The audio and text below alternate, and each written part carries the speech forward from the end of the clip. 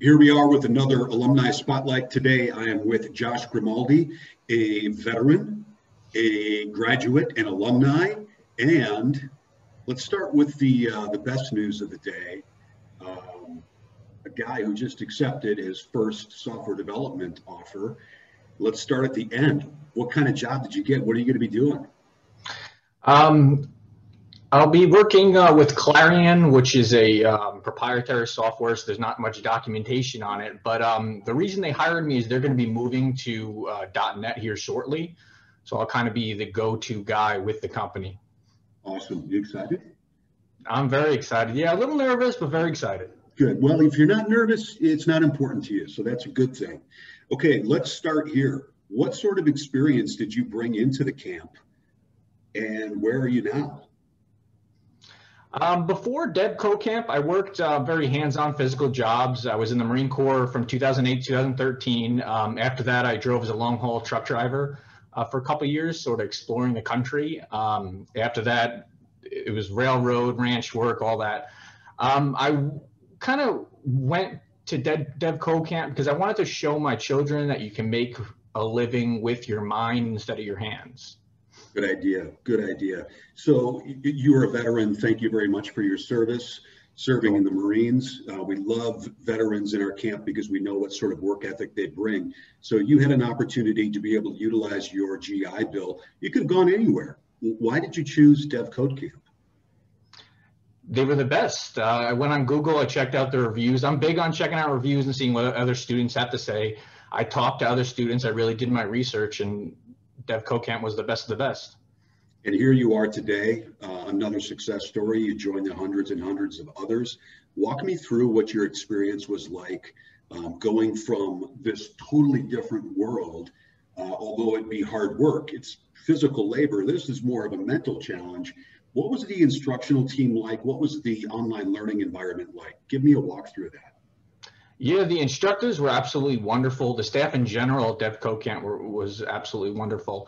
Um, the instructors are, are, they're a special breed of person. Uh, they stuck by your side uh, the entire time through the ups and downs. Whether you have a technical question, uh, a question about code you're writing, or if you just want emotional support, or like I did several times throughout the course, they're they're always in your corner. Absolutely wonderful. Um, as far as online learning, I uh, took a little some classes uh, for for college with online, and it was nothing like DevCode Camp. You were kind of on that island by yourself um, to do your assignments, send them in. You never really heard from anyone. I didn't learn too much. Um, so with DevCode Camp, I was a little bit nervous about the online learning, um, but it was different than anything I've ever experienced. You had the support, whether it was in Slack or Zoom, for anyone right away. I mean, nights, weekends, they're always there to answer your question um, you're always part of a team and you're always important. So that was uh, definitely important uh, to me.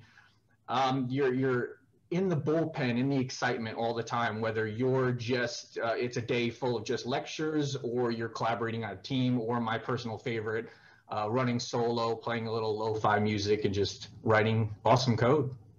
I know uh, you and Charles formed a, a, pretty special relationship, Charles being one of our lead instructors. Uh, and I think that a lot of that has to do with uh, both of you being veterans. I think there's just that bond that, that immediately forms. Um, it sounds like you guys uh, work together quite a bit. Yeah, Charles was excellent. He was a, a former Marine. Um, there was a couple of former Marines working uh, for DevCode Camp, but um, he was absolutely wonderful. He was my senior dev uh, with me the entire way, um, always willing and able to answer my questions uh, if they, you know, about about anything. Um, definitely guided me into uh, pursuing a career and, and and getting me ready for interviews and things like that. But I owe a lot to Charles. Well, you did all the work. Thank you very much for putting in the work, making it happen. We can't do this alone. It is a combination of the right student and the right instructional staff, and we definitely found the right student um, in in you. So now that now that you are a software engineer, what do you tell your kids? What do I tell my kids? I guess what do they, I, what do they what do they what do they think about this? Are they, they old enough to understand? Yeah, um, I think a little bit. They see instead of dad being gone for 12 hours a day, they see dad, uh, you know, home, happy, working in his home office. So I get to definitely incorporate more of the family life into uh, my day to day. They're uh, all around happy with it. Awesome. So, as somebody who's experienced it, somebody comes up to you and asks, "Hey, should I do this?" Especially when it comes to uh, veterans such as yourself, what do you tell them? Um, first of all, veterans, you are worth it. You can do this. I uh, went into this not thinking that it was going to be for me or I'd be able to do this, and I was blown away with the amount I learned. And sitting here today, uh, you know, I'm, I'm, setting up my home office for a remote software development job. I would say um, use the GI Bill. It's extremely easy. It's going to go away anyway. Um, and even if you go through this, you're not sure if you want a career in code. Code is the future.